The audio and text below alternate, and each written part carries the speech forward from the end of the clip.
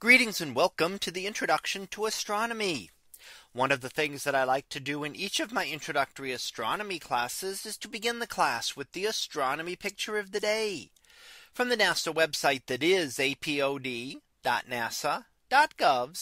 apod. And today's picture for March 8th of 2023. Well, it is titled artificial night sky brightness. So what do we see here? Well, here we see the entire Earth and stretched out before us. And the different colors represent the brightness of the night sky. So areas that you see in the orange and the red have become so bright due to light pollution that the Milky Way is no longer visible. You cannot see our galaxy from those regions. Now, of course, these are tied to the most populated areas in the, world. And you see that the eastern eastern part of North America, including major population centers in the United States and Canada, as well as the West Coast are very bright areas. In between, we have a lot of darker areas uh, out in the western part of the US and much of northern Canada, much more sparsely populated and far, far less light pollution.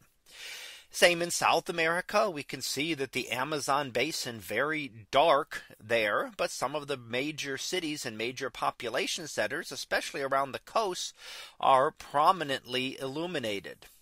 And when we get into Europe, Europe very, very bright all around. Very few really dark areas remaining in Europe, except for maybe some of the far northern areas, far northern parts of Scandinavia very much of it is all very bright and that goes through the Middle East out into India and then finally out to Asia where much of eastern portions of China are very bright as well as Japan and South Korea. Other areas like the central portions of Africa, the Sahara Desert, very, very dark. So very dark skies still remain there and much of Australia except for around the coasts. But light pollution is a major problem and keeps you from seeing many fainter objects. Certainly bright objects like the moon and many of the brighter planets are still visible even from the brightest locations on Earth. You can see those. However, the fainter stars start to become invisible and it becomes harder and harder to pick out constellations from these brighter regions.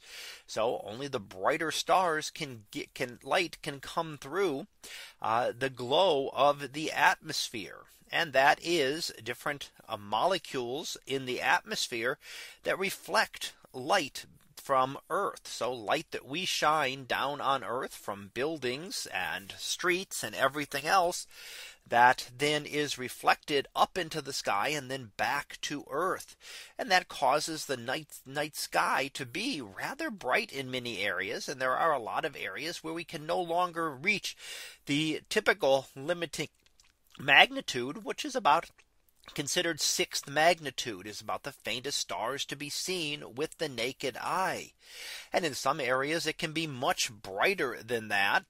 In some of the very brightest areas, the magnitude can go down as low as four or even less than that. And that is a factor of six times um, less bright that we can see. So less bright things that we're able to see by a factor of six in the brightness. And of course, some of the very brightest areas, it can be even worse than that. You may be only seeing the brightest constellations in the sky.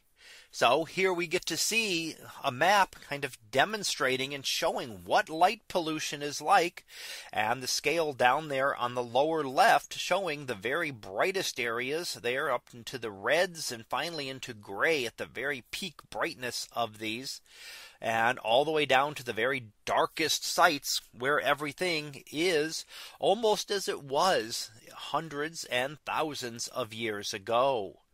So that was our picture of the day for March 8th of 2023. It was titled artificial night sky brightness. We'll be back again tomorrow for the next picture. So until then, have a great day, everyone, and I will see you in class.